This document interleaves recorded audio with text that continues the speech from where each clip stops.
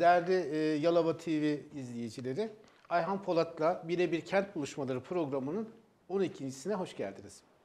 31 Mart 2019 tarihinde yapılacak olan mahalli seçimler öncesi birçok siyasi partinin adayları belirlendi. Cumhuriyet Halk Partisi Yalı Çiftlikköy Belediye Başkan adayı Sayın Nedim Güler bugünkü konuğumuz. Sayın Güler programımıza hoş geldiniz. Hoş bulduk Sayın Polat. Ayhan Polat'la birebir kent buluşmaları programı amacı kent yönetiminde söz sahibi kişileri programa konuk etmek, kentin sorunlarını Yalova kamuoyu gündemine taşımak, çözüm yolları, yolları bulmak, yetkili ve etkili kişilerden bilgiler, bilgilerinden faydalanmaktır. Evet Sayın Güler, Ayhan Polat'ta birebir kent buluşmaları programı 12.si Yalova Televizyonu stüdyolarında gerçekleştiriyoruz. Hı hı. Öncelikle sizi e, stüdyomuzda görmekten e, bayağı bir onur duyduk, şeref duyduk. Hoş geldiniz. O şeref bana ait. Ee, tabii biz birbirimize sayın diye hitap ediyoruz ama tabii hukukumuz çok eskilere dayanıyor. Ee, gazeteci kökenli olduğum için e, açıkçası e, Yalova'da böyle bir stüdyo hazırlamak, e, böyle bir teknik altyapıyı hizmete sokmak ve de yerel seçim öncesinde kamuoyuna bu şekilde yön vermek e, önemli bir başarı. Ben ve ekip arkadaşlarım adına da sizi tebrik ediyorum. Sağ olun. Ee, inşallah güzel bir sohbet olur. Ee, sohbetimiz gerçekten güzel olacak, keyifli. Şöyle bir 45 dakika e, ben soracağım, siz cevaplayacaksınız. Ee, hemen e, sorulara geçelim o zaman. Ee, öncelikle Nedim Güler kimdir? Nedim Güler'i bir e, Yalova TV izleyicilerine kendinizi bir hı hı. tanıtır mısınız? Öncelikle ee, 1980 Çiftliköy doğumluyum ben. Ee, Ankara Üniversitesi İletişim Fakültesini bitirdim. Radyo, TV, sinema bölümünü. Ee, 2002 yılından sonra Ankara'da e, sektöre adım attık, televizyonculuğa adım attık. E, TRT ve TV8'de yapım yayın yardımcısı olarak çalıştım. Akabinde askerlik sonrasında e, Yalova'da e, gazetecilik mesleğine e, devam ettim. Anadolu Ajansı ve Doğan Haber Ajansı, şimdiki Demirören Haber Ajansı'nda görev yaptım. E, Yalova Hayat Gazetesi'nin genel yayın yönetmenliğini üstlendim 8 sene kadar. 7 sene kadar da Çiftliköy Belediyesi'nde basın danışmanlığı görevi yürüttüm. E, gazeteciyiz, gazeteci kökenliyiz. E, çocukluktan itibaren mesleğimiz olan gazeteciliği yaptık. E, son bir yıldır, bir buçuk yıldır aktif gazetecilikten çekildik. İşin siyasi tarafına yani sizde koltuk değiştirdik aslında. Evet. E, işin bu tarafına geçtik. E, o tarafını layıkıyla yaptığımızı düşünüyoruz. Şimdi bu tarafını layıkıyla yapmaya çalışıyoruz. E, tabii e, Yalova'da gazetecilik yapan, e, bu işin e, mekteplisi olarak e, Yalova medyasında uzun bir süredir emek sarf eden bir kardeşim olarak ben de seni e, tebrik ediyorum. Sağ ol. Çok güzel e, işlere imza atmış. Genç pırıl pırıl bir kardeşimsin. E, tabii bir gazeteciyi de burada konuk etmek e, çok farklı bir duygu. Ya gurur verici bir olay. E, Çiftlikköy e, ilçesi Yalova'nın en büyük ilçesi. Tabii buradan e, öncelikle e, ana muhalefet partisinin e, belediye başkan adayı olmak e, çok önemli. Hı hı. E, bu bir başarıdır. E, önümüzdeki süreçte şurada iki aylık bir seçim süreci var. E, burada e, Çiftlikköy Belediye Başkanı olmaman için bir sebep ben göremiyorum açıkçası. Sizi çok yakın takip ediyorum. Çiftlikköy'ü çok iyi bilen bir e, gazeteciyim. Hı hı. E, Çiftlikköy'deki dengeleri çok iyi araştırıyorum. Ee, ben e, bu meşakkatli yolda sizlere başarılar diliyorum. Sağ ol, Ve sağ ol. hemen e, sorulara geçeyim. Sıkıştırmaya başla abi. evet. Şimdi e, kendinizi tanıttınız. Nedim Güler neden Çiftlikköy Belediye Başkan adayı oldu? İki nedenle. Birinci nedeni şu, ben siyaseti bir hizmet noktasında düşünüyorum. Ee, siyaseti de yapmamın ana gerekçesi o. Ee, vatandaşa bir şey götürebilmek, vatandaşa bir dokunma aracı olarak görüyorum siyaseti. Ee, sizin de az önce bahsettiğiniz gibi tanınma gibi, ismimi duyurma gibi bir e, durumum yoktu. Hatta gazeteciyken daha fazla göz önündeydim belki. Siyasetçi olunca biraz daha e, kenarda gibi bir durum oldu. E, birinci amacım hep şuydu. E, halka bir borcunuz var. E, bu borcu da e, ödemenin bir yöntemi var.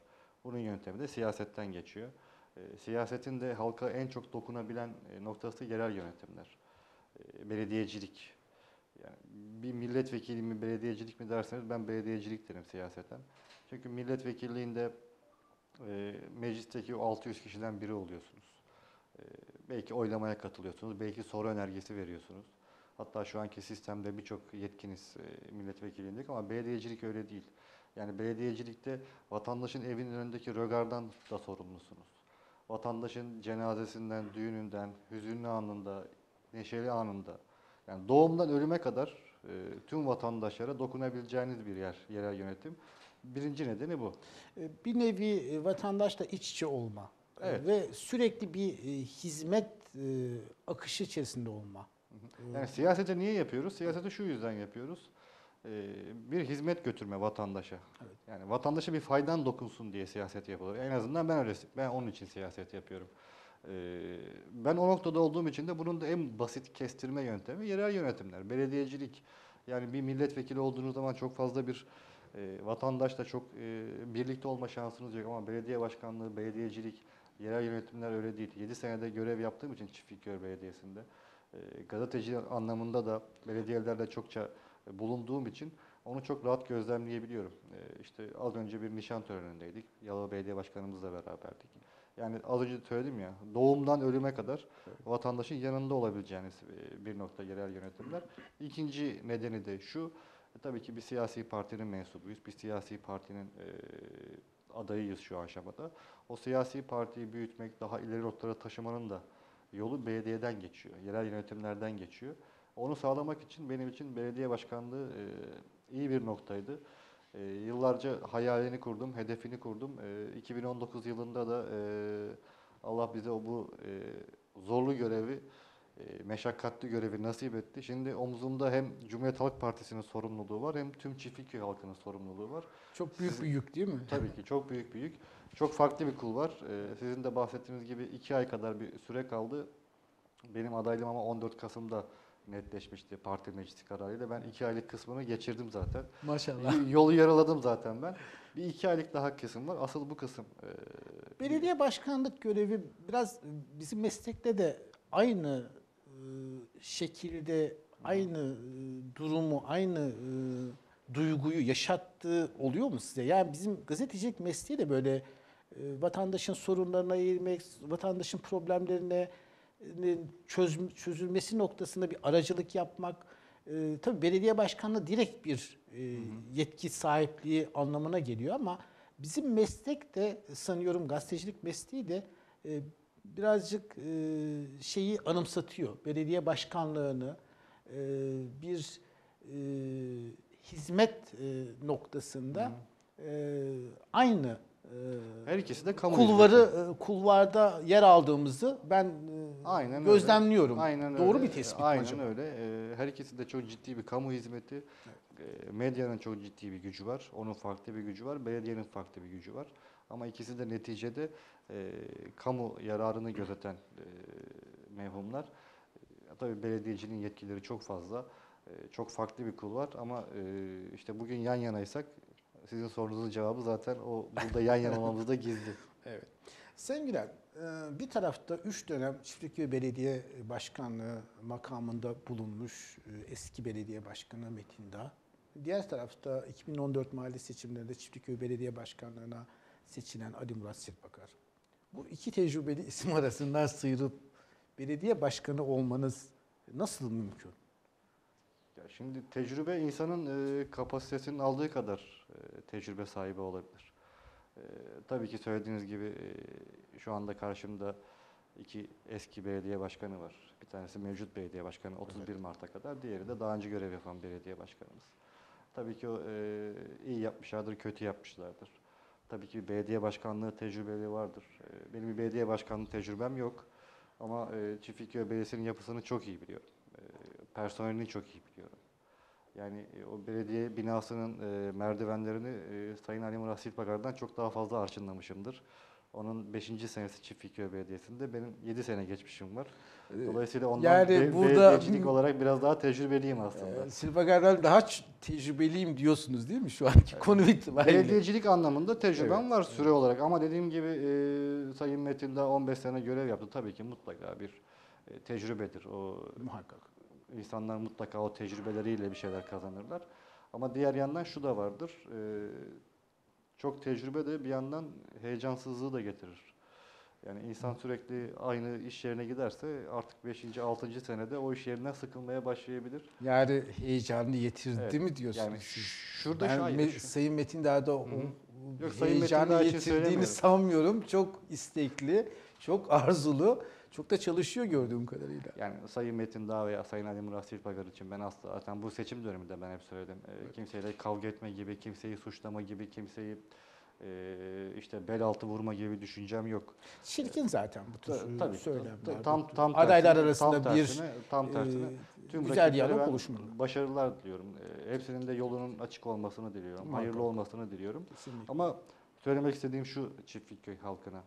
e, belediye başkanlarının Çiftlikköy'ü dert etmesi lazım. Evet. Yani e, vatandaş yastığa başını koyduğunda e, o gün kendisiyle baş başa kalır.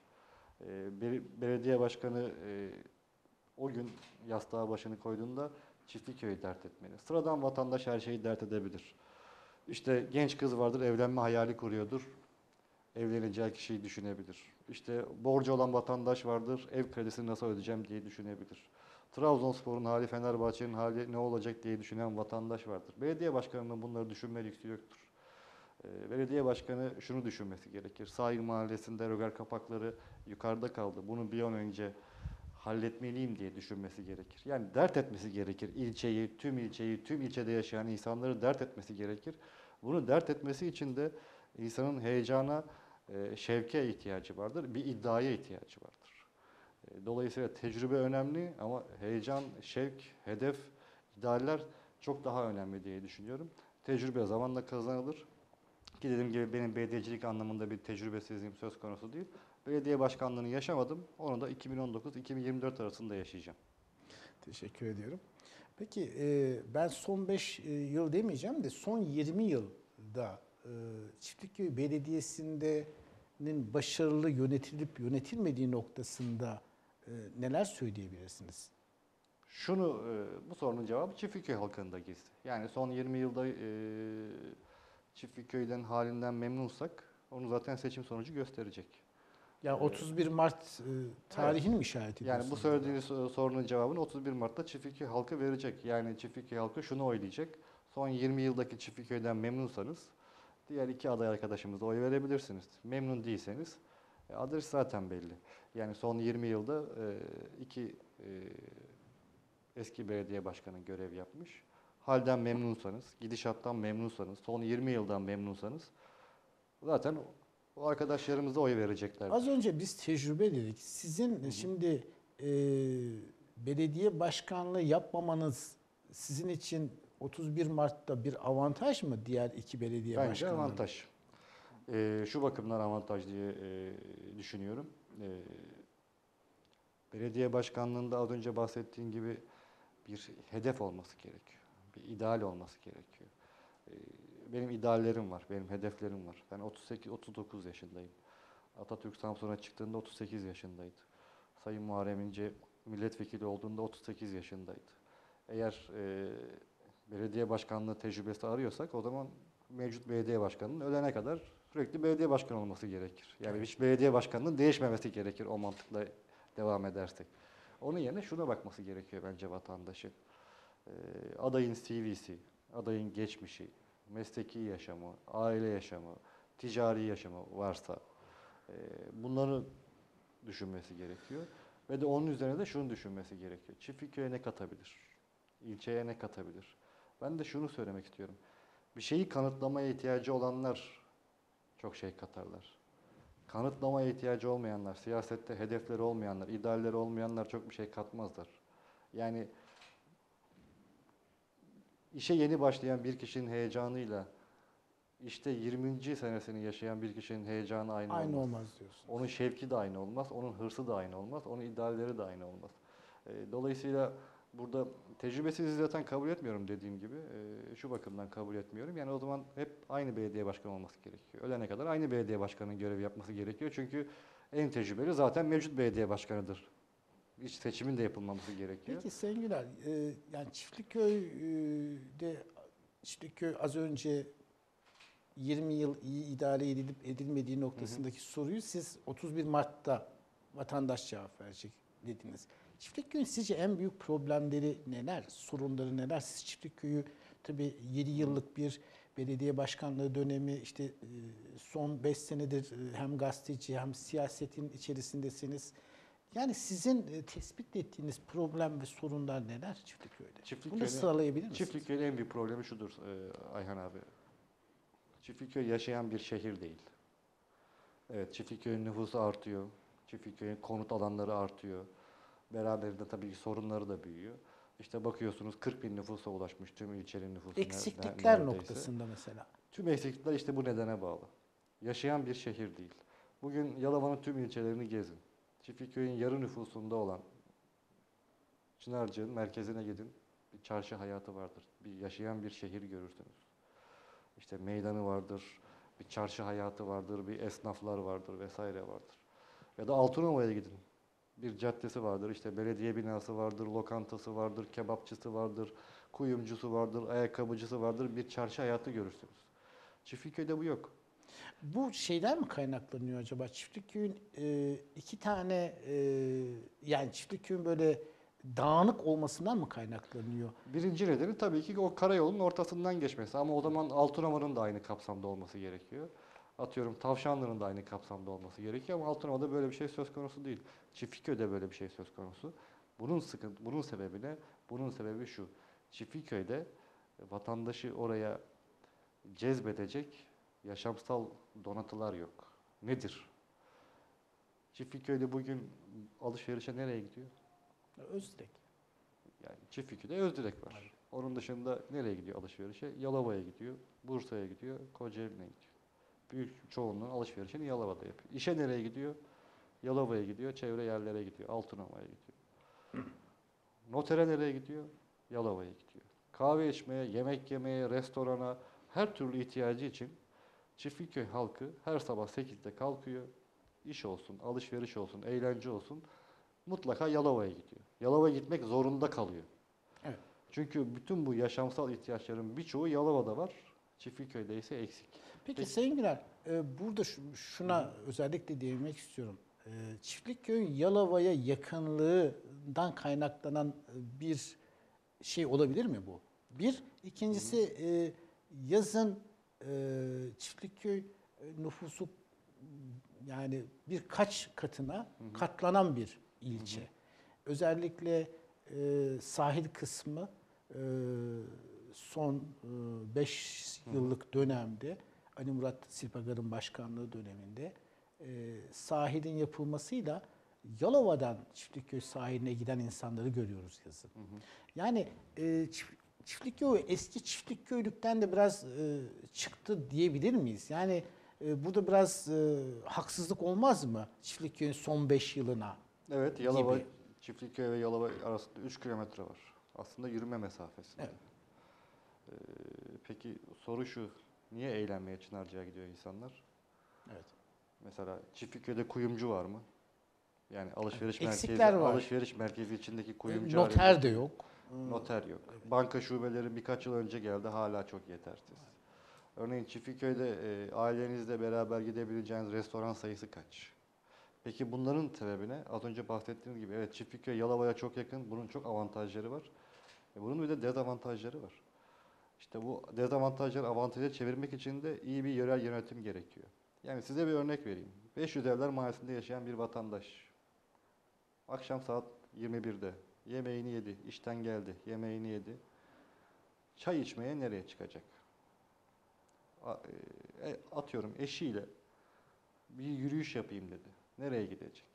500 evlerden geliyoruz. Çiftlik mahallesindeki bir vatandaş. Dedik ki şöyle eşimle dostumla bir balık yiyeyim dedi. Nereye gidecek? Güzel bir restoranda bir yemek yiyeyim dedi. Nereye gidecek? Gençler bir yerde eğlenelim dediler. Çiftlikköy'de nereye gidecekler? Peki bunu kim sağlayacak? Şimdi diyebilirsiniz ki "E işte özel sektörün işi. Bir dakika. Evet bu yatırımları özel sektör yapar ama bunun önünü belediye açar. Nasıl belediye açar? Çok basit bir örneği. Yalova'da Adnan Menderes Mahallesi. Bundan 5 sene evvel, 6 sene evvel Adnan Menderes Mahallesi yeni yapılaşan bir bölgeydi.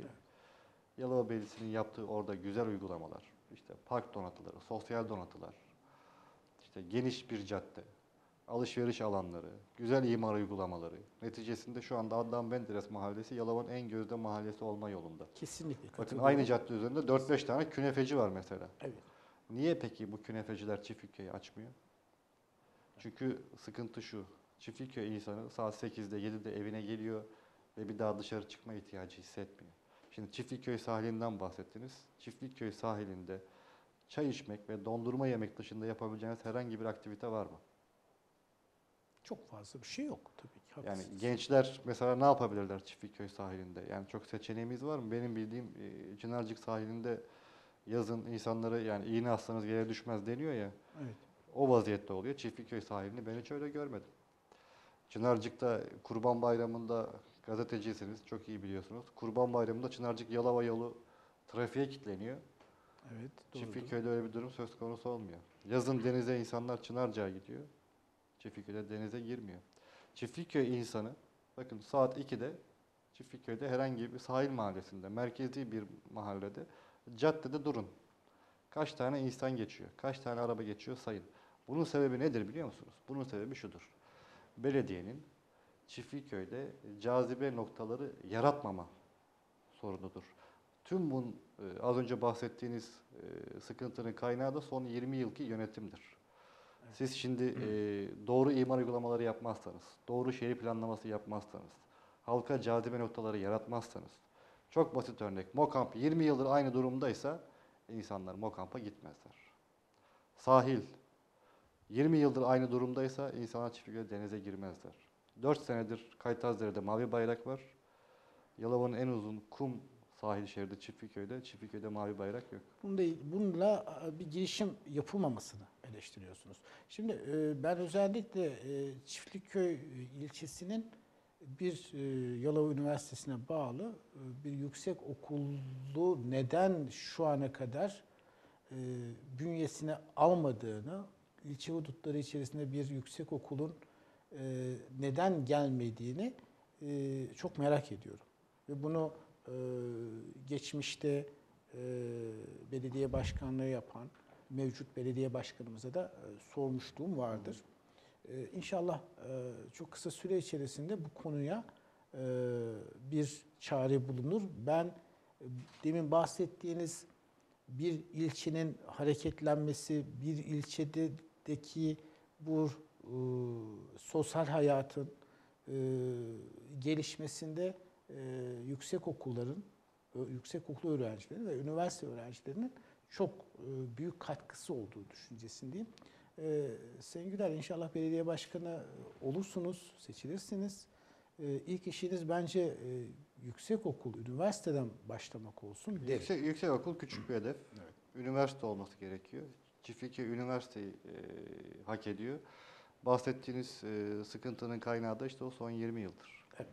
Yani daha doğrusu Yalova Üniversitesi kurulduğundan bu yana e, Altınova'da, Çınarcık'ta, Termal'de, Armutlu'da, Altınova'da yeni imzalandı benim Evet. bildiğim kadarıyla. Diğer ilçelerde Termal'de. Termal, Çınarcık'ta, Çınarcık, Armutlu bu işi başardı. Yıllardır var. Ee, görüyorum Çınarcık'ta, Armutlu'da e, onlar bir nefes katıyor ilçeye. İşte az önce bahsettiğiniz o yönetememe sıkıntısı burada devreye giriyor. Çiftlikköy Yalova'ya en yakın yer. Ama Çiftlikköy'de yani bırakın işte üniversiteden ben hedefim üniversite. İnşallah. Bırak e, üniversiteyi, fakülte, MYO ona bile razıydık. O olmadı. Ee, mevcut belediye başkanı göreve seçildiğinde internete vatandaşlarımız araştırsınlar. Aday tanıtım toplantısında iki tane üniversite vaadi vardı. Ee, Kendisi de üniversitede görev yaptığı için ben bunu başarırım dedi. Büyük ihtimalle vatandaşlarımız da hatırlayacaklardır. O iki üniversite olmadı. Bırakın buraya bir MYO bile gelmedi. Yani bırakın üniversitenin herhangi bir nüvesi dahi, herhangi bir birimi dahi Çiftlikköy'e gelmedi. İşte sıkıntının kaynağı orada bakın. Çiftlikköy'ün sıkıntısını diyorum ya, Çiftlikköy yaşayan bir şehir değil. Bu Bütün bu konuda- sıkıntının bu kaynağı işte konudaki- bunların olmaması. Bu konudaki düşüncelerinize ben de katılıyorum. Ee, Geç kalındı. Ee, Bu konunun üzerine çok fazla e, özenle gidilmedi düşüncesindeyim Sayın Güler. Şimdi e, tabii e, Çiftlikköy'ün e, ekonomisini de işte ayakta tutacak sektörler noktasında e, dan bahsedersek özellikle e, Çiftlikköy Belediye Mücavir alanı içerisinde ye- yer alan.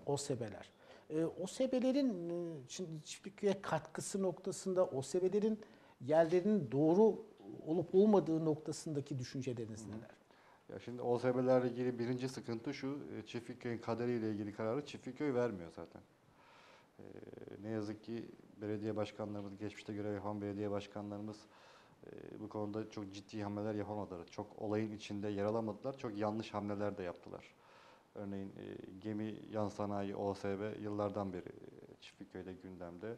Çevreyi kirletip kirletmeyeceği, Çiftlikköy'e zarar verip vermeyeceği bile yıllarca anlaşılamadı. Yani belediye bu Hep konu- tartışma konusu oldu değil mi? belediye bu konuda e, elini taşın altına koymadı. Ha, vatandaşı bu konuda bilgilendiremedi. Yatırımcı ile vatandaş arasında bir köprü vazifesi göremedi. Evet. E, Çiçekçilik OSB yani ben bildim böyle e, üniversiteyi bitirdim. Çiçekçilik OSB kurulacak. Hala. Üniversiteyi bitirdim. Yıllarca gazetecilik yaptım. Şimdi belediye başkan adayım. Çiçekçilik OSB hala kurulamadı. E, diğer yandan işte e, mevcut Aksa Akkim'in yer aldığı e, orada bir ıslah OSB e, çalışmaları devam ediyor. Bunun yanı sıra işte İMES makine İhtisas OSB çalışmaları devam ediyor. Avrasya'nın var çalışması. Avrasya'nın çalışmaları var. Yani Çiftlikköy, Yalova'daki tüm OSB'ler hemen hemen Çiftlikköy'e konuşlanmış durumda. Evet.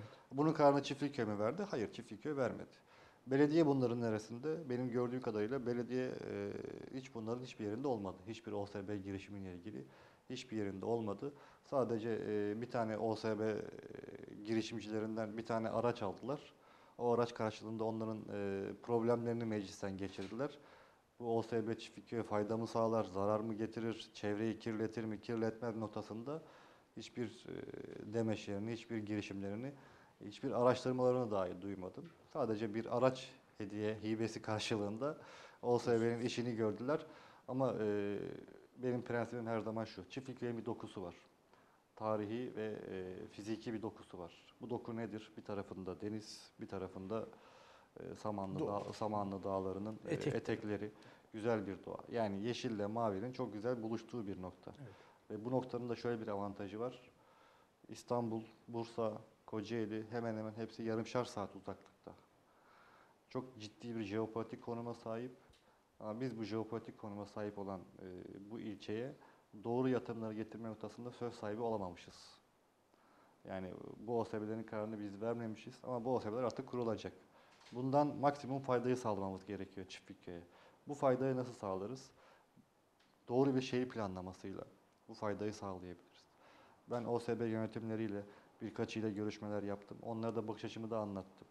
Çiftlikköy'ün doğasına zarar vermiyorsanız, Çiftlikköy'de istihdam imkanı yaratıyorsanız, Çiftlikköy'e katma değer sağlıyorsanız belediye olarak sonuna kadar yanındayım. Evet. Ha, doğaya bir zararınız var. İstihdam imkanını Çiftlikköy'den sağlamayacaksınız. O zaman bir dakika. Ve e, görüştüğüm OSB'lerde de aynı bu yönde destek de gördüm. Ben onlara şunu önerdim örneğin. Dedim ki istihdam sağlayacaksanız, işte yazıyor broşürlerinizde, kataloglarınızda yazıyor 10 bin kişilik istihdam. Kim bu istihdam? Çiftlikköy'de olması gerekiyor. Ya ben de OSB yönetimlerine şunu demiyorum. Çiftlikköy'lü herhangi birisini size işe sokturacağım demiyorum. OSB yönetimlerine diyorum ki siz bu sene hangi teknik kollarda eleman alacaksınız? Örneğin makine, İhtisas, OSB, İMES'ten bahsediyorum. Diyelim ki 2021 yılında 50 tane CNC operatörü olacak. Hay hay. Bu 50 tane CNC operatörünü Çiftliköy'den alacaksınız. Dışarıdan Çiftlikköy'den alacaksınız. Öncelik Çiftlikköy'den nasıl Çiftlikköy'ün alacaksınız? lazım Çiftlikköy'den nasıl alacaksınız? Şu yöntemle alacaksınız. Belediye olarak ben elimi taşın altına koyacağım. Çiftlikköy halkına, Çiftlikköy gençlerine bu duyuruyu yapacağım. CNC operatörlüğü konusunda Çiftlikköy gençlerine istihdam garantili kurslar vereceğim. Evet. Belediyenin garantörlüğünde. Yani bir nevi be, Çiftliköy Belediyesi de başkanı da e, taşın altına elini koyacak. Belediye başkanı şöyle, alacak. şöyle belediye başkanı olmayacak. OSB'den herhangi birisinin telefonla arayıp işte Ahmet Bey size bir yakınımın, akrabamın e, oğlunu gönderiyorum onu işe sokun değil. Demeyeceksiniz. Belediye başkanı şunu diyecek. 50 tane CNC operatörünü Çiftlikköy gencinden alacaksınız. Onları ben sizin yerinize eğiteceğim. Yollarını, yemeklerini, binalarını ben karşılayacağım. Eğitimciyi siz bulun. Bu işin uzmanı sizsiniz. Evet. Siz bulun. 45 gün, 30 gün ne kadarsa eğitimlerini yapsınlar ve sonunda da işe başlasınlar. İstihdam garantili olsun. Ve de buradan şunu elde etmek istiyorum ben. O OSB'ler sonucunda Çiftlikköy nüfusu çok ciddi bir oranda artacak. Ee, az önce bahsettiğim sıkıntının yaşanmaması adına. Yani bu OSB'lerde birileri çalışacak. Bu çalışanlar Çiftliköy'de yaşamalı, Çiftliköy'de harcamalı, Çiftliköy'de hayata katılmalı. Evet çalışanlar Çiftliköy'de olacak. Bir de bunun için çok ciddi teknik personeli var. Mühendisleri, beyaz yakalıları var. Bunlar da Çiftliköy'de yaşamalı. Bir soru sordum ben e, geçtiğimiz günlerde bir ev ziyaretinde. Dilovası'nda işte Gebze'de çalışan bir mühendis işte ayda 15-20 bin lira para kazanıyor, maaş alıyor. Nerede yaşıyor diye sorduğumda insanlar diyor ki Ataşehir'de yaşıyor, Kadıköy'de yaşıyor, Tuzla'da yaşıyor, Pendik'te yaşıyor. Dilovası'nda yaşamıyor. Ben OSB'leri e, şunu sağlamayı taahhüt edeceğim. Sizin mühendisleriniz, beyaz yakalılarınız, işçiniz de, beyaz yakalılarınız da Çiftliköy'de yaşayacak. Yaşayacak diyorsunuz. İşte belediye olarak da biz de burada devreye gireceğiz. Onların burada yaşamalarını sağlayacak sosyal donatıyı, şey planlamasını biz sağlayacağız. Teşekkür ederim. Ee, Sayın Güler, e, Özdilek AVM'de e, adaylık tanıtım Hı hı. toplantısı ile e, kamuoyunun karşısına çıktınız. E, Çiftliköy halkından e, bu toplantı sonrası ne gibi tepkiler aldınız? Yani birincisi e, o toplantının katılımın çok yüksek olması. E, o toplantıdaki coşku beni çok memnun etti. Çok güzel geri dönüşler aldım. Kampanyama da çok ciddi bir ivme kazandırdığını düşünüyorum o toplantının. Yani tabiri caizse 50 ile 60'ta giderken bir anda 100'e 120'ye takmış bir araba gibi olduk. Bir anda çok ciddi bir şekilde e, kamuoyunun bana e, yönlenmesi söz konusu oldu. Tebrik telefonları aldım, e, destek mesajları almaya başladım kamuoyunda çok ciddi bir şekilde tanınırlığım arttı. E tabii ki e, Sayın Cumhurbaşkanı adayımız Muharrem İnce'nin toplantıya katılması, bana sonsuz destek vermesi, bana güvenini göstermesi, işte herkesin huzurunda bu çocuk okur e, demesi e, ve kendinden örnek vermesi e, beni çok onore etti. E, çok ciddi bizim için güzel bir start oldu. Hani at yarışında atların ilk startı veya işte atletizm yarışlarında atletlerin ilk startı çok önemlidir ya 100 metre yarışlarında. O startı çok iyi verdik o toplantıyla. Çok büyük moral oldu değil mi size? Tabii. İnce'nin yanınızda bulunmuş olması, sizle, e, sizle beraber o gün e, o havayı teneffüs etmesi. Tabii e, ki. Yani peki bu o, Sayın İnce'nin bu desteği devam edecek mi önümüzdeki süreçte de? Var mı herhangi bir program önümüzdeki günlerde? Tabii ki kendisi seçim kampanyası boyunca bana destek vereceğini söyledi. Ee, deneyimleriyle zaten e, sürekli bana yardımcı olmaya çalışıyor. Ee, tabii 2002 yılından bu yana milletvekilliği, grup başkan vekilliği yapmış, CHP genel başkanlığına aday olmuş. Çok ciddi bir cumhurbaşkanlığı seçim kampanyası geçirmiş birisi olarak e, hem manevi desteğini hem de teknik desteğini sağlamaya çalışıyor. Ekibiyle örneğin. Cumhurbaşkanlığı Çok seçisi, önemli. Bu Cumhurbaşkanlığı destek çok önemli. Cumhurbaşkanlığı seçiminde kendisine destek olan ekibiyle e, kendisine e, bana yardımcı olacağını Bu söyledi. müthiş bir e, avantaj. Tabii, e, tabii ki. Yani böyle değerlendiriyorum. E, tabii ki yani şimdi e, az önce bahsettiğiniz gibi ilk defa ben belediye başkanlığına adayım. İlk defa belediye başkanlığına aday olduğunuz için arkanızda e, ciddi bir güç e, görmeniz e, insanı mutlu ediyor. Daha heyecanlandırıyor, şevklendiriyor. Bir yandan sorumluluğu arttırıyor, bir yandan da heyecanlandırıyor. E, inancınızı tazeliyor. Sadece Muharrem İnce de değil. Yani Sayın Cumhurbaşkanı adayımız Muharrem İnce de değil. İl başkanımız, milletvekilimiz, e, Yalova Belediye Başkanımız Sayın Vefa Salman, diğer şu andaki mevcut belediye başkanlarımız. E, yani şunu çok rahat söyleyebilirim. Cumhuriyet Halk Partisi şu andaki mevcut 5 belediyesi dışında gözünü Çiftliköy'e dikmiş durumda. E, bu da e, bu konuda bana sonsuz destek veriyorlar. Hatta ben RDKM'deki toplantıda da söyledim. E, sahil şeridinden başlayınca Çınarcık bizde. Koru bizde. E, Yalova zaten bizde. Dizeceğiz demişsiniz. Evet. Ta- Taşköprü de bizde. Bir arada bir eksik var. E, Çiftlikköy o da. E, İnşallah geri kalanları da arkadaşlarımız, diğer arkadaşlarımız alacaklardır. Bir eksik var Çiftlikköy. Çiftlikköy'de aldığımız zaman sahil şeridini böyle gerdanlık gibi dizeceğiz dedim. E, Parti yönetimimiz de bu görüşte. Yani genel merkezinden Cumhurbaşkanı adayımıza, belediye başkanlarımızdan il yönetimimize, milletvekilimize kadar e, topyekün Çiftlikköy'e e, çok ciddi bir ilgi gösteriyorlar, çok ciddi bir destek veriyorlar. Bu da hem sorumluluğumu arttırıyor hem de heyecanımı arttırıyor.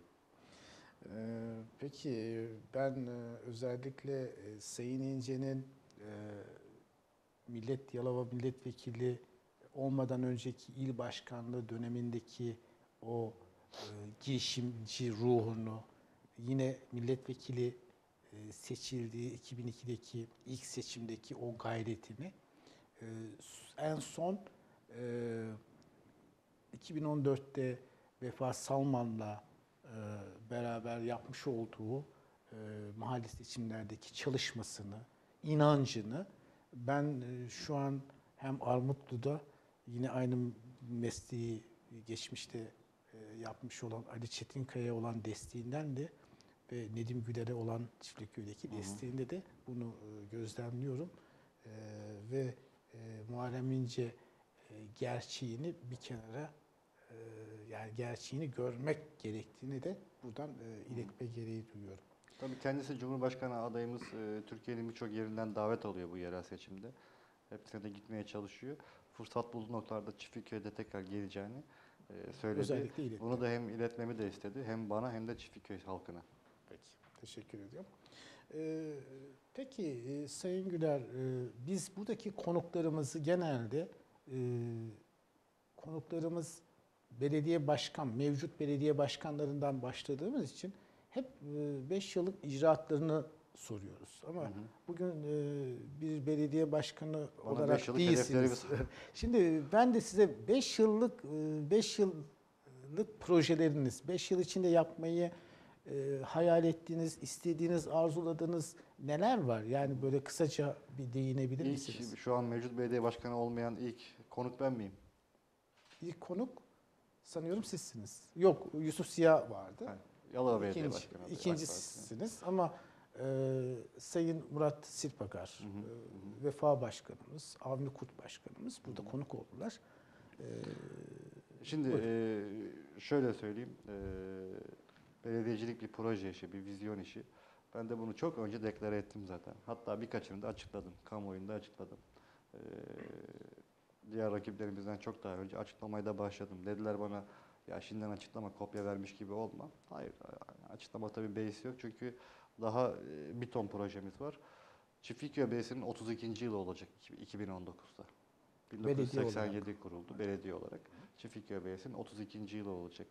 32. yıla e, 32 tane altın proje hazırladık. 32 altın proje. Bunları tek tek halkımıza anlatacağız. Yerel seçime 32 gün kala. 31 Mart 32 gün kala. Bu projeleri her gün... 32'den gidiyoruz. Evet, diyorsun. 32'den gidiyoruz. Bu projeleri tek tek açıklamaya başlayacağız. Tabii geniş kapsamlı bir toplantıyla e, açıklayacağız. Hepsini de anlatacağız. Neler var bu projelerin içerisinde? Az önce bahsettiğim eksikliği giderecek birçok şey var. E, nedir? Mesela sahil konusu. Ya bir kere mavi bayrağı kesinlikle ve kesinlikle alacağız. Çiftlikköy halkı böyle gönül rahatlığıyla denize girecek. Çok rahat bir şekilde. Şimdi ben yazın bazen görüyorum tabelalar asılıyor. Denize girmek tehlikeli bir yasaktır diye. Çiftliköy'de bir kere bu sorunu ortadan kaldıracağız. Ama halkın en önemli sıkıntısı şu. Yol. Çiftliköy'e gidin. Halkın sorun, sıkıntınız nedir deyince en ücra köşedeki vatandaştan en merkezdeki vatandaşa kadar hepsinin tek bir sıkıntısı var yol. Bu yolları en iyi durumda olan sahil mahallesinde de böyle. Hiç yolu olmayan Beş Evler mahallesinde de böyle. Bir kere e, şunu ben halkına sözünü veriyorum. 5 yıllık plan problem içerisinde. Çiftlikköy'de yoldan şikayet eden vatandaş kalmayacak. Sloganımız da şu. Kışın çamur, yazın tozdan arındıracağız, kurtaracağız. Eğer bunu yapamazsak 5 yıl sonunda vatandaşlara çizme dağıtmaya başlarım belediye başkanı olarak. Bunu yapmayacağız. Artık vatandaşlarımız e, günde iki defa ayakkabı değiştirmek zorunda kalmayacak. Günde iki defa, üç defa ayakkabısını boyamak, silmek zorunda kalmayacak. Çiftliköy'e bunu sağlayacağız. Havalimanı pisti gibi yollar hayal ediyorum Çiftliköy'e. Bunu sağlayacağız. Bunu nasıl sağlayacağız? Bunu şöyle sağlayacağız. Düzgün bir altyapı ve onun üzerine güzel bir e, yol, yağmur suyu kanalları olan, güzel kaldırımları olan, böyle baktığınız zaman marka olacak caddeler hayal ediyorum. Mesela Atatürk Caddesi. Atatürk Caddesi'ne baktığınız zaman Çiftlikköy'ün şehir merkezine girdiğini anlamıyorsunuz. Bir kere Atatürk Caddesi'ni Çiftlikköy'ün marka caddesi haline getireceğiz. Yani İstanbul'un İstiklal Caddesi gibi, Ankara'nın Kızılayı gibi, işte Yalova'da Cumhuriyet Caddesi gibi. Yalova'nın şehir merkezine girdiğini Cumhuriyet Cad- Caddesi'ne girdiğiniz zaman anlarsınız. Çiftlikköy'de Atatürk Caddesi'ne girdiğiniz zaman o cadde peyzajıyla, sosyal donatı alanlarıyla, kaldırımlarıyla bir marka cadde haline gelecek. Oradaki dükkan sahiplerine şimdiden söylüyorum. Dükkandan sakın çıkmayın. Buraların değeri artacak diye. Evet. Hatta lokantalara söylüyorum yanınıza 2-3 tane rakip gelir diye. Başka ne yapacağız? Kadınlara yönelik çok ciddi projelerimiz var. Bir kere hizmeti her mahalleye yayacağız. Her muhtarlığımızda belediye çözüm merkezleri kuracağız. Yani 500'lerdeki vatandaşın belediyeye gitmesine gerek kalmayacak. Belediye çözüm merkezine gelecek. Oradaki e, sıkıntıyı belediye olarak sıkıntısını çözecek vatandaşın. Yine her mahallede kadınlara özel e, kadın merkezlerimiz olacak. Buralarda kurslar olacak. Kadınlarımız günlerini yapabilecekler. Çaylar belediyeden ama kekler, börekler, poğaçalar hanımlarımızdan olacak. Bunun yanı sıra buralarda yine eğitici e, seminerler, söyleşiler olacak. Mevcut kültür merkezimizi kreş ve çocuk evi yapacağız. Alt katını kreş yapıyoruz. Üst katlarını çocuklar için e, çocuk ergonomisine göre düzenlenmiş çocuk sineması, çocuk kütüphanesi, çocukların vakit geçirebileceği şekilde dizayn edeceğiz mevcut kültür merkezimizi. Onun yerine yeni bir kültür merkezi yapacağız. Yerini söylemiyorum, kopya olmasın. Güzel bir yere yeni bir kültür merkezi yapacağız. Mokamp'ta çok sürpriz bir projemiz var. Yakın zamanda bunu da açıklayacağız. İstihdam garantili kurslar açacağız. İşsizliğe sorun, işsizliğe çare olmak adına bunları açacağız. Bunun yanı sıra eee, şunu yapacağız ama en önemli şeyimiz bu. Bu bütçeyle alakalı bir şey değil. Şeffaf olacağız ve hesap vereceğiz. Halka ben şunun sözünü veriyorum. Her yıl belediyenin bütçesini, gelirini, giderini kalem kalem hesap vereceğim. Nasıl olacak bu? Çiftlikköy halkına. Bunun çok çeşitli yolları var. Bir, belediye binasını asacağız. İki, yollardaki billboardları asacağız. Üç, halka SMS yoluyla göndereceğiz. Dört, internet sitesinden yayınlayacağız. Beş, sosyal medya hesaplarından yayınlayacağız. Yani diyeceğiz ki vatandaşa, ey Çiftlikköy halk, siz bize vergi olarak bu yıl örneğin 50 milyon TL gelirimiz oldu. Bu 50 milyon TL gelirin örneğin 20 milyonunu personele harcadık. 10 milyonunu şuraya harcadık. Kalem kalem sıralayacaksınız. Kalem kalem bunun hesabını vereceğiz vatandaşa. Gelirimiz şu kadar, giderimiz bu kadar, giderleri de buraya harcadık. Borcumuz varsa borcumuz bu kadar hesap vereceğiz. Bakın ben Çiftliköy'de e, şehrin emini olmak istiyorum. Şehrin emini. Şimdi belediye başkanları şehrül emindir. Evet. Hazreti, Pe-. Hazreti Peygamberimizin de lakabı bilirsiniz e, Mekke'de el emindir. Yani emin Emin kişidir. eli, emin duyulan kişi. Evet. Belediye başkanı kişi. da aslında şehre eminidir. Şimdi ne yazık ki e, belediye başkanı şehrin emin kişisi değilse orada ciddi bir sıkıntısı var. Şehrin emin kişisi olmanız için şunu yapmanız gerekiyor. Halka hesap vermeniz gerekiyor. Şeffaf olmanız gerekiyor. Açık olmanız gerekiyor. Vatandaşın ödediği vergiyle maaş alıyorsunuz. Vatandaşın ödediği vergiyle makam aracına biniyorsunuz. Vatandaşın ödediği vergiyle hizmet yapıyorsunuz. Vatandaşın ödediği vergiyle personel çalıştırıyorsunuz. Yani her şeyi vatandaşın parasıyla yapıyorsunuz. Peki bu harcadığınız paranın hesabını veriyor musunuz? Vermiyorsunuz. Niye vermiyorsunuz? Emin kişiler hesap verirler. Emin olmayan kişiler hesap vermekten kaçınırlar. Şimdi siz e, şunu mu iddia ediyorsunuz? E, son 20 yılda her iki belediye başkanlığı yapan e, kişinin e, bu konuda şeffaf olmadığı Kişileri baz almıyorum. Kişileri baz almıyorum. Ha, benim e, belediye başkanlığı anlayışım bu olacak. Evet. Yani ben şu ben şunu çok net bir şekilde yapacağım. Çiftlikköy halkına her fırsatta hesap vereceğim. Evet. Göğsümü yere yere. Her ay bir mahallede mahalle meclislerini toplayacağım. Evet. Yapabilen varsa e, diğer adaylardan onlar da yapsınlar isterim. Yani belediye meclis toplantısı yapar gibi her ay bir mahallede mahalle meclis toplantısı yapacağım. Halkın gözü önünde. Onlara anlatacağım. Mecliste aldığımız kararları, yaptığımız icraatları onların da beni eleştirmesini isteyeceğim. Görüşlerini, önerilerini sunmasını isteyeceğim. Her halka açık toplantı. Bir ay Çiftlik Mahallesi'nde, bir ay Mehmet Akif Ersoy'da, bir ay Sultaniye'de. Altı mahallemiz var. Yılda iki sefer bir mahallede toplantı yapacağız. Bunun yanı sıra büyük ihalelerimizi şeffaf yapacağız. Sosyal medya hesaplarımızdan, canlı yayınla, internetten yayınlayacağız vatandaşa. Belediye meclis toplantılarımızı canlı yayınla yayınlayacağız vatandaşımıza. Ve bunun yanı sıra da bütçemizi, gider kalemlerimizi, nereye ne harcanıyor, belediyenin mali yapısı ne, vatandaş bilecek. Şimdi vatandaş bunu bilirse buna göre hizmet ister. Şimdi vatandaşın önündeki yol bozuksa, kaldırımı kötüyse, parkı kötüyse bunu belediye başkanından ister. Sen de belediye başkanı olarak vatandaşa anlatırsan, bak bu seneki bütçemiz park için yetersiz ama önümüzdeki sene için bütçemiz yeterli olur dersen vatandaş sana kızmaz. Çok basit bir örnek vereyim. Çoğu vatandaşımız apartmanda yaşıyor. Her ay 15 lira 20 lira apartman yöneticisine aidat verirler. Evet. Bu paranın karşılığında apartman yöneticisi de apartmanın temizliğini yaptırır, çeşitli tadilatlarını yaptırır. İşte ayda bir, üç ayda bir apartman toplantısı yapılır. Apartman sakinleri de sorar apartman yöneticisine. Para, paramız var mı? Nereye ne harcandı? Apartman yöneticisi de hesap verir. Belediye başkanı niye hesap vermiyor? evet. Belediye başkanına da biz vergi veriyoruz. Su parası ödüyoruz, atık vergisi veriyoruz, çöp vergisi veriyoruz, tabela vergisi veriyoruz, inşaat yapıyoruz, ruhsat harcı veriyoruz, iskan harcı veriyoruz. Veriyoruz da veriyoruz.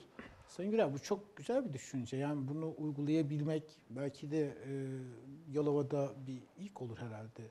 Şu ana kadar e, gazetecilik mesleğinde ben böyle bir başkan portresi pek görmedim diyebilirim.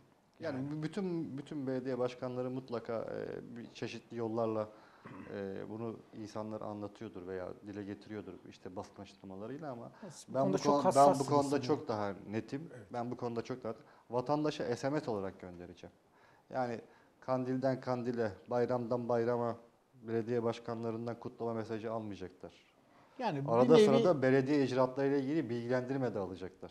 bir nevi e, mevcut belediye başkanının iletişimsizliğinden vatandaşla vatandaşla e, iletişimsizliğini de e, ön planda tutuyorsunuz sanıyorum. Şimdi Bunu şu- gündeme getiriyorsunuz. Bunu eleştiriyorsunuz gördüğüm kadarıyla. Bakın, be- be- belediye binası halk evidir.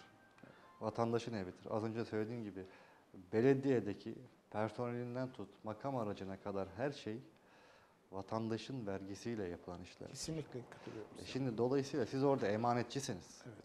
Siz orada aracısınız. O emaneti çok iyi bir şekilde e, Yani kullanmak hem belediye başkanlığının gereği, bak hem belediye başkanlığı görevinin gereği, kamu görevi gereği, hem siyasetin e, gereği hem de tabii ki hep ben he- ev toplantılarında şunu söylüyorum. Halka hesap vereceksiniz.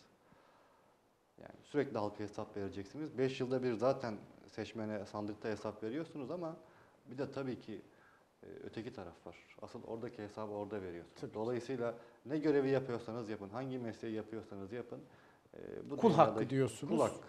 Hele hele Kul- kul- kamunun, malı çok çok Kul hakkına kesinlikle önemli. girmemek adına, vatandaşın da bu güveni duyması adına Evet. bunu, Bunu sağlam- yapmak bunu lazım sağlanması diyorsunuz. gerekiyor. Peki e, Sayın Güler, e, Çiftlikköy'ün en büyük e, sorun sıkıntılarından bir tanesi de e, Etibank tesislerinin yıllardır 99 Mar- Marmara depreminden bu yana böyle atıl, e, mezbelelik bir şekilde kaderine terk edilmiş e, şekilde duruyor olması. Siyasi beceriksizlik. Bunu siz e, neye bağlıyorsunuz? Siyasi beceriksizliğe bağlı. Sizin hayaliniz ne? Ne olmalı? Düşünceniz ne? Etibank Şu anda e, Etibank tesisleri eğer Çiftlikköy Belediyesi'nin olsaydı e, hayalim şuydu. Sahil Mahallesi'nde bizim nefes alacak yerimiz kalmadı. E, Etibank tesislerinin olduğu noktayı da e, Çiftlikköy'ün bir nefes alma yeri olarak hayal ettim ben hep. Yani ufak e, işte günübirlik tesislerin olduğu, işte vatandaşların yürüyüş yaptığı, örneğin bir yapay gölün olduğu, denize girdiği, yani bir pazar gününü geçirebileceğiniz, dinlenerek, Sosyal. eğlenerek geçirebileceğiniz Sosyal bir alan. Bir yer, bir sosyal yaşam alanı Onun gibi. olarak Evet. hayal ettim ben Etibank'ı ve hep bunu da hem gazetecilik dönemimde yazılarımda savundum hem de siyasette de savundum. Böyle olması gerektiğini, bir kuruma, özel bir kuruma verilmemesi gerektiğini, özel bir kuruma verildiği takdirde Çiftlikköy halkından koparılacağını savundum. Ve de buradaki en iyi çözümün de Çiftlikköy Belediyesi'ne verilmesi gerektiğini ilettim. Hatta ilçe başkanı iken, Cumhuriyet Halk Partisi ilçe başkanı iken e, şu anki mevcut belediye başkanı Sayın Ali Murat Silpagar'a dedim ki Sayın Belediye Başkanım toplayın bütün ilçe başkanları, siyasi partilerin temsilcilerini. Beraber Ankara'ya gidelim. Bu konuyla ilgili görüşelim. Mevcut iktidar belediye iktidar partisinin belediye başkanısınız. Ortak paydada hareket edelim istediniz. Yani şimdi Çiftlikköy Belediyesi'nin olmasını isterim ben Etibank testlerinin. Yani şu anki yasal prosedürde imkanı var mı yok mu bilmiyorum açıkçası. En son özelleştirme idaresindeydi. Hı hı. AKBT hakkında ne yazık işte bakın şeffaflık diyorum ya. Evet. Çiftlikköy'ün en önemli arazisi, belki Yalova'nın en önemli arazilerinden bir tanesinin AKBT hakkında çok fazla bilgimiz yok. Çünkü bir şeffaflık yok. Hayalim şu, savunduğum da şu yıllardır. Hem gazeteci olarak hem e, siyasetçi olarak savunduğum şu. Etibank tesislerinin bulunduğu arazi Çiftlikköy Belediyesi'nin olmalıdır. Niye? Çünkü Çiftlikköy Belediyesi'nin olursa Çiftlikköy halkının kullanımına açılır. Ve de buna şu anda çok ciddi ihtiyacımız var. Ee, sahil mahallesinde nefes alacak yerimiz kalmadı. Çiftlikköy nefes alacak yeri kalmadı. Ee, orada e, çok güzel bir yapılan, yapılandırma yapılabilir. Ee, dediğim gibi sosyal donatı alanlarıyla, günübirlik tesisleriyle, işte plajıyla, havuzuyla çok güzel bir halkın kullanımına açık bir yapı ortaya çıkartılabilirdi. Ancak yıllardan beri yapılamadı. Bunun da tek sebebi şudur. Siyasi beceriksizlik. Ne yazık ki eee, 17 yıldan bu yana iktidar olan bir parti var. Yani 99'dan bu yana Etibank testleri bu halde. Ve bunun hemen hemen tümü AK Parti hükümetleri döneminde geçmiş. Ben isterdim ki AK Parti'nin burada görev yapan milletvekilleri, belediye başkanları oldu. En son işte Çiftlikköy Belediye Başkanı iktidar partisinden. Keşke Buraya bir çözüm bulsalardı. keşke. Ankara'nın yollarını aşındırıp bu çözümü bulsalardı diye düşünüyorum. Peki e, Sayın Güler, e, 1999'dan e, belediye başkanı olan Metin Dağ, e, 2014'te belediye başkanlığı süresi e, bitti, tamamlandı. Geçtiğimiz gün 3 dönem belediye başkanlığı yaptı. Geçtiğimiz gün yaptığı bir basın toplantısında özellikle size çattı ve size o benim çırağım bu işleri yapamaz şeklinde bir ifade kullandı. Bu işleri yapamaz dememiştir. Benim çırağım.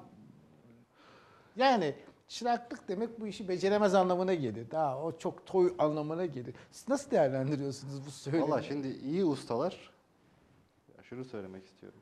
Ee, iyi ustalar, iyi çırak yetiştirenlerdir. Eğer arkanızda iyi çırağınız, iyi kalfanız yoksa zaten iyi usta değilsinizdir. Evet. Yani e, şimdi eğer iyi bir ustaysanız zaten dükkanı bir gün Mutlaka çırağı bırakma kalfanızı mecburiyeti doğuyor lazım. diyorsunuz. Eğer bir çırak kalfa yetiştirememişseniz demek ki iyi bir usta değilsiniz demektir. Ee, tabii ki ben e, bunu bir cevap olarak söylemiyorum. Ee, kendisine 3 dönem belediye başkanlığı yapmış. Ee, saygımız makamına, siyasi tecrübesine e, saygımız sonsuz. Ee, az önce de söyledim. Ben hiçbir rakibimle bir didişme içerisine girmeyi istemem. Ee, Mevcut belediye başkanı, bir önceki belediye başkanımız, ondan önceki belediye başkanımız Sayın Süleyman Akbay iyi bir duayendir, iyi bir belediyecilik duayenidir. Bir dönem yaptı Ee, orada. dolayısıyla iki tanesi şu an benim rakibim. Evet. Ee, Sayın Süleyman Akbay siyasi e, arenada e, şu anda yok, Değil. aktif siyasette yok. Ee, şu an iki, iki tanesi rakibim. İkisi hakkında da çok kötü konuşmayı istemem. Ancak ben her toplantıda söyledim. Ee, kavga istemiyorum demek kavga edemeyeceğim anlamına gelmez. Yani gücün var diyorsun. Şimdi eee, bu bakış açı- açısını sevmedim.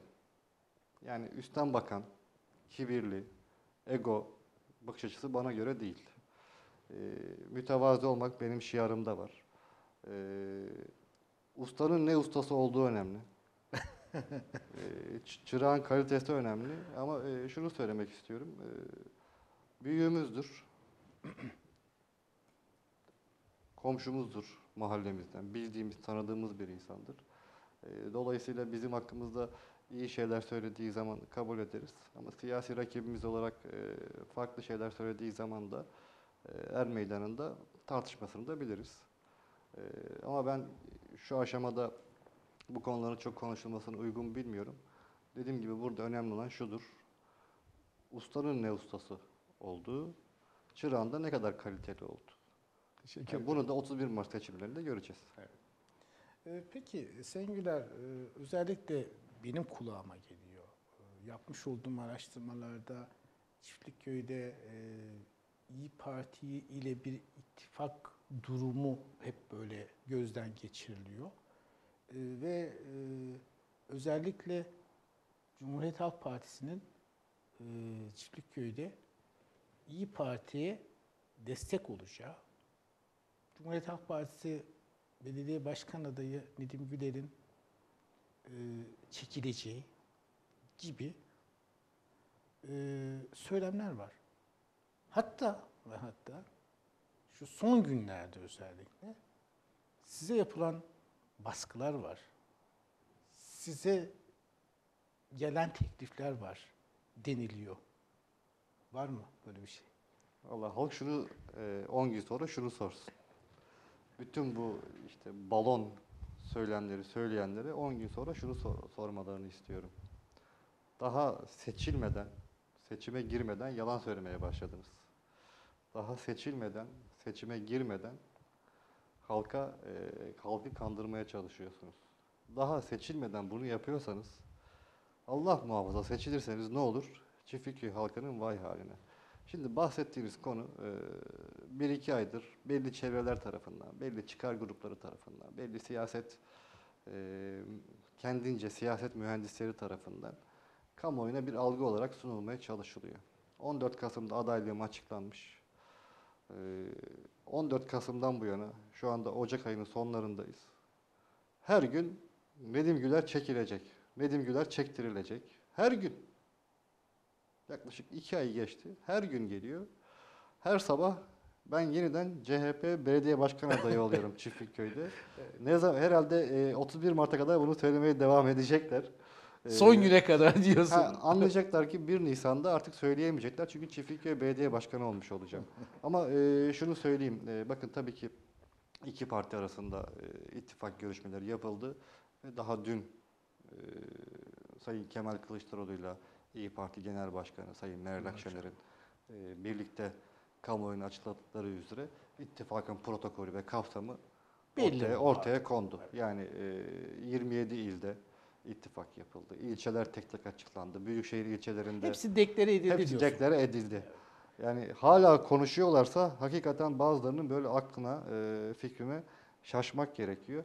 Ha şuna çok sevindim. Sağ olsunlar. E, rakiplerim arasında tabii ki diğerleri eski belediye başkanları olduğu için onlar tabii ki daha fazla tanınıyorlardı benden.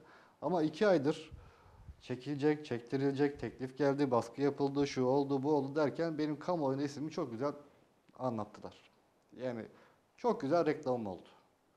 E, Kendilerine teşekkür ediyorum bu yüzden. E, Bunu söyleyen tüm herkese, e, bu dedikoduyu, bu algıyı, bu komployu e, yayan herkese çok teşekkür ediyorum. Kampanyama çok güzel bir destek verdiler. Evet o bir gerçek. Ka- kahvehanelerde e, sağ olsunlar e, bunu çok güzel bir şekilde konuştular. E, ve de her gün bunun olmadığı her gün ben üzerine bir puan koyuyorum. Üzerine bir puan koyuyorum. Peki Sayın Güler direkt veya dolaylı yoldan size böyle çekil işte ne istiyorsan gibi. Ya şimdi bir kere O tür bir- o bir- tür bir kere- o tür şey ya bir kere- geldi mi? Ben bir- çok merak ediyorum Bir yani. kere bu e, bana hakaret, en önemlisi Cumhuriyet Halk Partisi'ne hakaret. Saygısızlık bu yani. E, Evet. Şunu çok net bir şekilde söylüyorum. 14 Kasım'da Cumhuriyet Halk Partisi Parti Meclisi açıklamış. Nedim Güler'in adaylarını.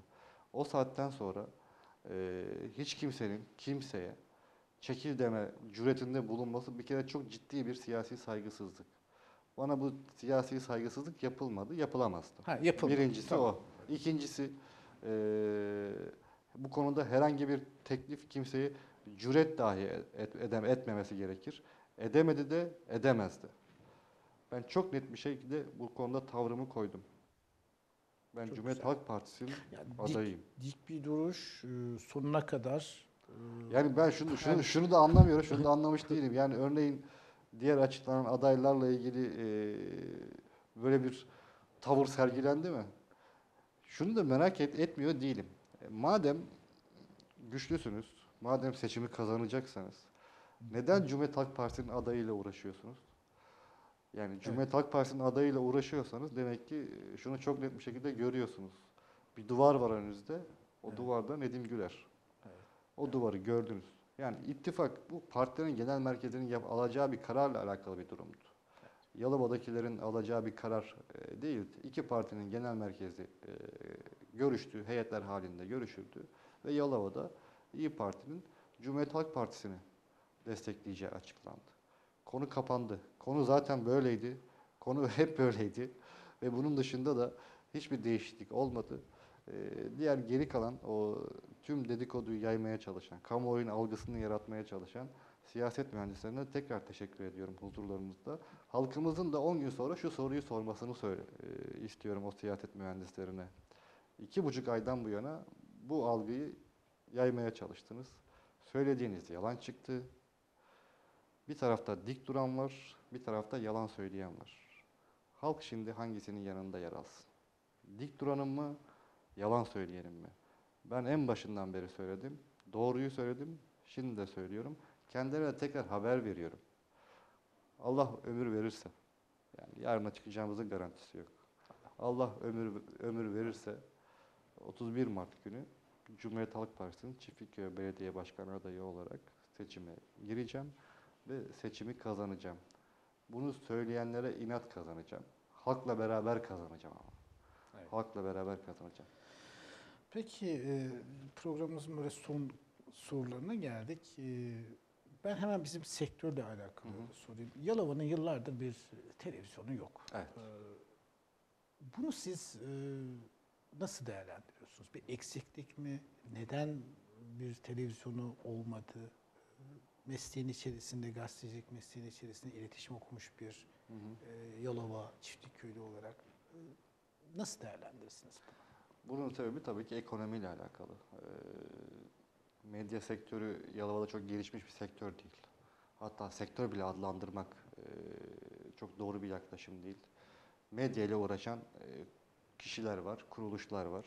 Bir şeyler yapmaya çalışan basın emekçileri var. İçinde yaşadığım için biliyorum. İşte günlük gazeteler var, haftalık gazeteler var. Ara sıra çıkan, yayın yapmaya çalışan, yaşamını sürdürmeye çalışan gazeteler var.